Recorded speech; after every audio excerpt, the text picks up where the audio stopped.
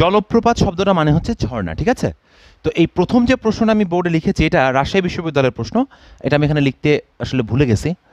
এই প্রশ্নটা বলছে যে চারশো বিশ মিটার উঁচু কোনো জলপ্রপাতের তলদেশ ও শীর্ষদেশের তাপমাত্রার ব্যবধান কত? তো কনসেপ্টটা কী দাঁড়ায়? ওপর থেকে যখন পানি পড়ে, কথাটা খেয়াল করো, বিষয়টা হচ্ছে এমন যে এটা আমি মনে করলাম আমাদের একটা জাস্ট পাহাড় ওকে এই উচ্চতার একটা ঝর্ণা।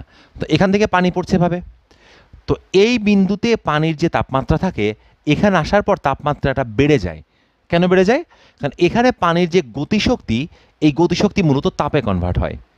তাহলে বলো তো, এক বিন্দু পানি যদি আমি চিন্তা করি, যার ভর হচ্ছে এম এমটা যখন এখানে ছিল, কতটুকু পরিমাণ বিভব শক্তি ছিল তার মধ্যে? এম এমজেইচ এটা যখন টোটালি নিচে পড়ে যায়, তখন এটা গতিশক্তিতে কনভার্ট হয়, আর গতিশক্তিটা তাপে কনভার্ট হয়। সো এই এমজিএইচটাই মূলত আমাদের এম এস ডেল থেটা এর সমান। বুঝলে মানে হলো যে এখানে যে পরিমাণ বিভব শক্তি ছিল, সেটাই আমাদের এখানে এসে গতিশক্তিতে কনভার্ট হয়ে গেছে। আর সেই গতিশক্তি তাপে কনভার্ট হয়েছে এখন তুমি এম এম বাদ দাও, তোমাকে বলছে তাপমাত্রার ব্যবধান কত মানে হচ্ছে ডেল থেটা বের করতে বলেছে। তো ডেল থেটা মানে হলো জি এইচ ডিভাইডেড বাই হচ্ছে এস তো জি এর মান কত হয়?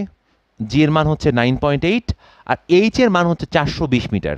চারশো বিশ মিটার ডিভাইডেড বাই এস এর মান হচ্ছে চার হাজার দুইশো। এখন হাতে কিন্তু ক্যালকুলেশন করাতে চাইলে। কীভাবে? চারশো বিশ আর এখানে বিয়াল্লিশশো হলে এখানে হবে হচ্ছে দশ। তা আটানব্বইকে যদি দশ দিয়ে ভাগ করা হয়, এটা হবে point nine eight degree Celsius অথবা কেলভিন।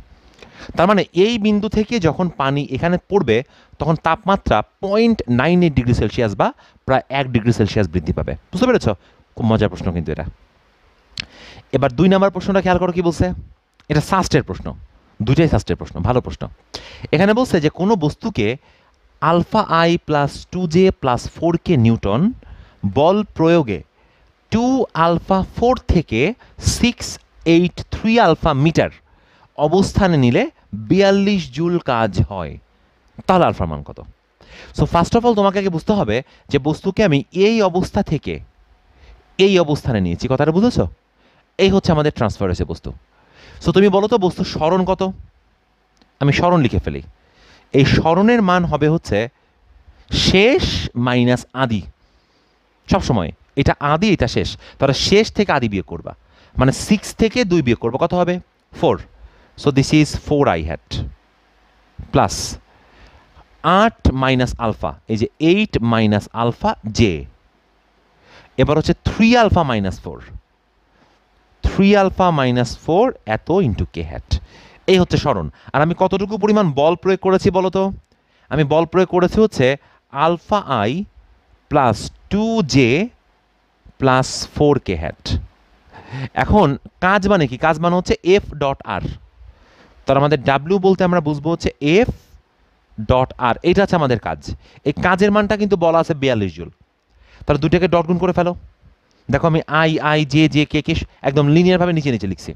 তাহলে ফোর আলফা প্রথমটা হচ্ছে ফোর আলফা এই যে ফোর আলফা প্লাস এটা টু আর এটা হচ্ছে এইট মাইনাস আলফা তাহলে two into eight minus alpha eight minus alpha আর এখানে হচ্ছে ফোর ইন্টু এই যে four into three alpha minus four three alpha minus four এই মানটা কত দাঁড়াতে হবে? এই মানটা দাঁড়াতে হবে হচ্ছে forty two joule so this is going to be দেখো ফোর আলফা প্লাস আট দুগুণে ষোলো মাইনাস টু আলফা প্লাস তিন চারে বারো আলফা মাইনাস ষোলো। এটা কত হতে হবে? এটা হতে হবে হচ্ছে যে আমাদের বিয়াল্লিশ জুল। এই কাজটা হচ্ছে বিয়াল্লিশ জুল। তাহলে এখান থেকে তুমি সম্ভবত আলফার মান কত সেটা হিসাব করে ফেলতে পারো। দেখি মুখে মুখে করা সম্ভব হয় কি না আমাদের ষোলো ষোলো কাটাকাটি যাবে। ভেরি গুড এবার বাম পাশে হচ্ছে এখানে কত? বারো আর চার ষোলো ষোলো থেকে দুই গেলে থাকবে হচ্ছে চোদ্দ। দেখো, বারো আর চার ষোলো ষোলো থেকে দুই গেলে কত থাকবে? চোদ্দ। চোদ্দ আলফা। তাহলে বিয়াল্লিশকে চোদ্দ দিয়ে ভাগ করলে হবে হচ্ছে তিন। সো আলফার মান আমাদের কত হবে? আলফার মান হবে হচ্ছে তিন।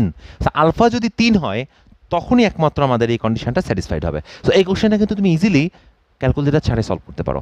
ইভেন এই কোশ্চেনটাও তুমি ক্যালকুলেটার ছাড়া সলভ করতে পারো। এবার নিচের প্রশ্নটা দেখো।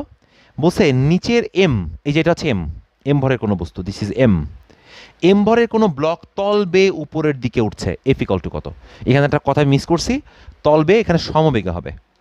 তল বে এখানে আবার হচ্ছে সমবেগে, এটা আমি লিখতে ভুলে গেছি। সমবেগ উপরের দিকে উঠছে। তাহলে তুমি দেখো, এরকম সিচুয়েশন যখন পাবা, আনত তল, আমি বারবার তোমাদের বলেছি যে এখানে তুমি একটা এমজি বল পাবা এইদিকে, এই এমজিকে উপাংশে ভাগ করে ফেলবা লাইক দিস এই কোনটা থেটা মানে এই কোনটাও থেটা তাহলে এই বরাবর এমজির উপাংশ হবে এমজি কস থেটা আর এই দিকে উপাংশ হবে কত? এই দিকে উপাংশ হবে হচ্ছে এমজি সাইন থেটা আর আমাদের এখানে একটা প্রতিক্রিয়া বল আছে, সেটা এই দিকে কাজ করতেছে। এই যে এটা হচ্ছে আমাদের প্রতিক্রিয়া বল অথবা আর বলতো এই প্রতিক্রিয়া বল আর এবং এমজি কস্তেরা পরস্পর পরস্পরকে কি করে? নাকচ করে। তাহলে এই এফ এর মানটা যদি এমজি সাইন থিটার থেকে সমান না হয় ছোট বা বড় হয়, তাহলে কিন্তু তার তল বরাবর ত্বরণ হবে। কারণ এই বলটা কিন্তু এটা দ্বারা নাকচ হয়ে গেছে, এটা বাদ। তাহলে অবশ্যই আমার এফ এর মান হওয়া লাগবে হচ্ছে, এই দেখো এমজি সাইন থেটা এইটা হলেই লব্ধি হবে জিরো আর লব্ধি জিরো মানে স্থির থাকলে স্থির থাকবে, আর গতিশীল থাকলে সমবেগে চলতে থাকবে।